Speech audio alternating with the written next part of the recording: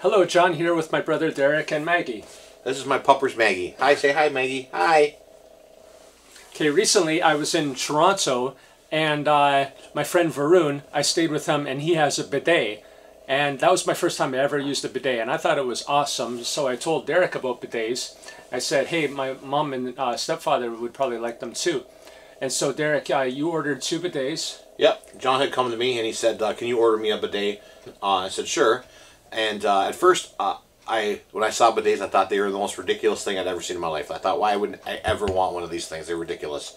Uh, and then I thought, oh, you know what? They're, John John was raving about how great it was, so I figured, ah, let's order a second one and I'll try it out.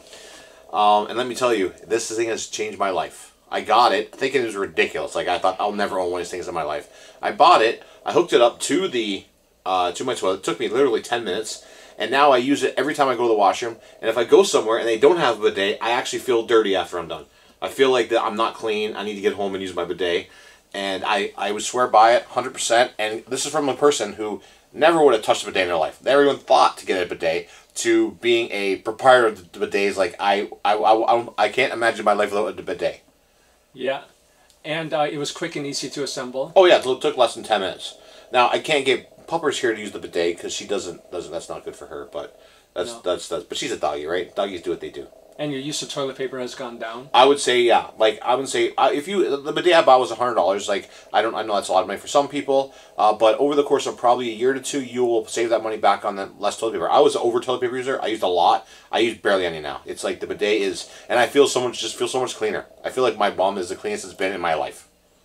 Yep and it's gentle. Like recently, I went on a two-day cycling trip, and you know, after a long cycling trip, your butt can get a little sore, yeah. and it's very gentle. So, like, if someone had hemorrhoids or something, oh, of course, yes, yes, I get hemorrhoids from time to time, and it's it's nice, soothing, cold water on them is it's it's it's a game changer. Believe me, like, I I seriously can't say enough good about them. Um, it's like it's it might be one of the top five purchases of my entire life, like for what I've used and everything about it, and I had some people over last week. John was here, and uh, I was telling the bidet they're kind of teasing about it, making fun. But I'm going, you know what? Because you haven't tried it, you haven't experienced life. Because I was in your seat a while back. I would have said the bidets are ridiculous. Why would you want one of those until I've actually owned one and tried one?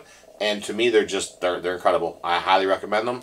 Um, if you don't get a bidet, then um, I think there might be something wrong with you. Um, but no, just joking. But I just I, I if I walked in your bathroom and saw a bidet, I'd be like, awesome. I'd be very happy to see it. Um, I don't like using toilet paper anymore. I use it obviously when I have to because not a lot of public settings, like public washrooms in, in their area, have bidets in them. Um, but uh, yeah, so I recommend them. I give them five stars and.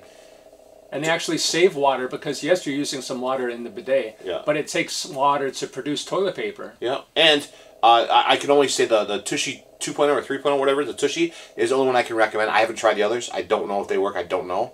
Um, the Tushy is the one I've used, and that's the one I can recommend. So if uh, if you get another one and you don't like it, I, I'm sorry. I don't know about them. I've never used them. I've used a Tushy, and I can highly recommend the Tushy. And there's a little dial you turn, so you can adjust yep. the power. Yes, you can have it to a light flow to, oh boy, it's really powerful, like a power washer up your bum.